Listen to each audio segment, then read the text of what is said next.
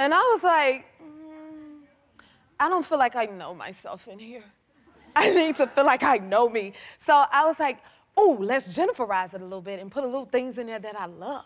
So I had to go find some, look, we put some little pillows in there because I love to be mushed up. Okay, come on, we got to do a little bit better than that. Then, so, listen, there we go. Okay, that's a little bit better.